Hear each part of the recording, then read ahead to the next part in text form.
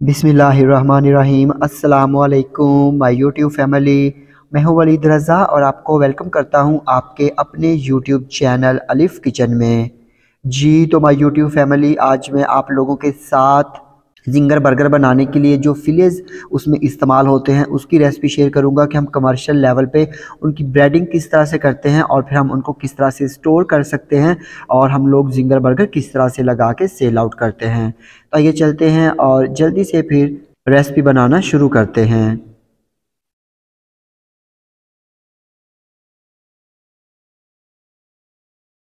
तो यहाँ पे मैंने एक बड़े सारे बॉल में, बड़े सारे बर्तन में ले लिया है ढेर सारा मैदा, क्योंकि ब्रेडिंग के लिए ज़्यादा मैदे की ज़रूरत होती है।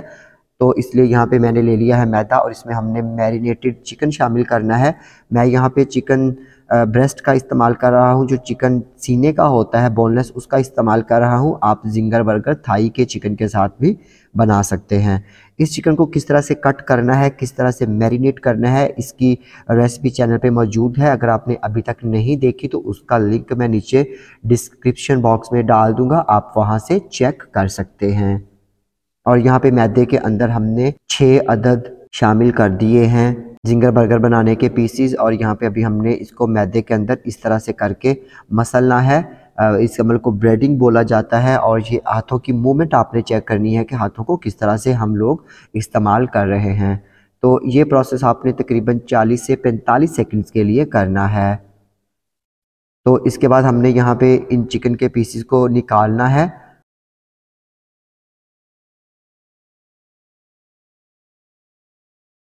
और निकालने के बाद हमने इसको पाँच से दस सेकंड्स के लिए पानी के अंदर डिप करना है। और फिर पानी के अंदर डिप करने के बाद हमने इसको दोबारा से मैदे के अंदर डाल देना है। और इसी तरह हमने दोबारा से इन पीसीस की चिकन के पीसीस की ब्रेडिंग करनी है और हमने इसको दोबारा से मैदे के अंदर कोट करना है। तो एक बात याद रखिएगा कि इस मैदे के अंदर हम लोगों ने कुछ भी मज़ीद शामिल नहीं किया है, सिर्फ़ हमारे पास ये मैदा है, जिसके अंदर हम लोग ब्रेडिंग कर रहे हैं। नॉर्मली इसके अंदर बेकिंग पाउडर भी शामिल किया जाता है कॉर्नफ्लोर भी शामिल किया जाता है, लेकिन अगर आप इसको सिंपल मैदे के अंदर कोट करेंगे तो उससे जो है आपका ये जिंगर का पीस ज़्यादा क्रिस्पी बनेगा।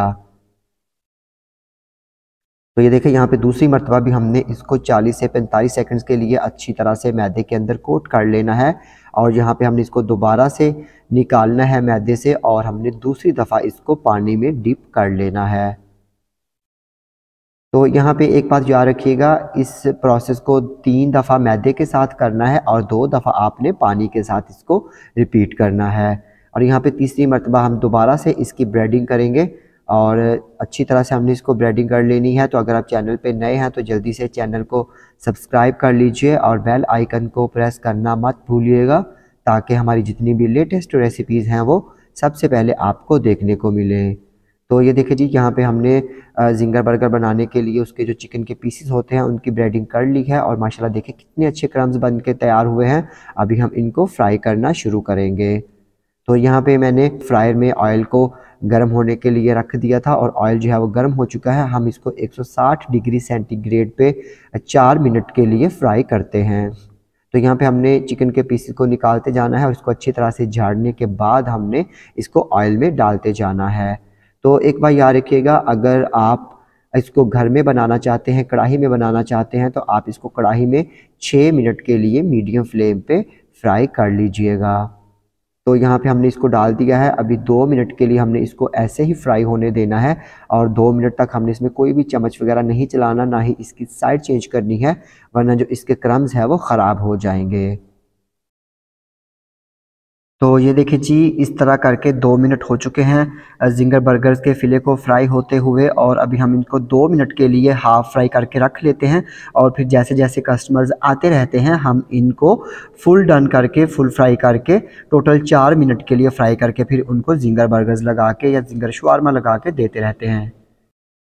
और इसी तरह हम लोग एक वक्त में 18 से 20 जिंगर फिलेज फ्राई करके रख लेते हैं। तो ये देखिए, यहाँ पे हमने जिंगर फिलेस को हाफ़ फ्राई करके रख लिया है और जो जो कस्टमर्स आएँगे, हम इनको दो मिनट के लिए मज़ीद फ्राई करते जाएँगे और फिर हम इनको जिंगर बर्गर्स बना के देते रहेंगे। तो मैं उम्मीद करता हूँ कि आपको मेरी जिंगर फिलेज की ये रेसिपी यकीन पसंद आई होगी। अगर आपको ये रेसिपी पसंद आती है, इसको लाइक कीजिएगा कमेंट कीजिएगा और अपने फ्रेंड्स और फैमिली मेंबर्स के साथ शेयर करना मत भूलिएगा। तो इसके साथ ही अलिफ किचन से वलीद रज़ा को इजाज़त दीजिए। अल्लाह हाफिज़।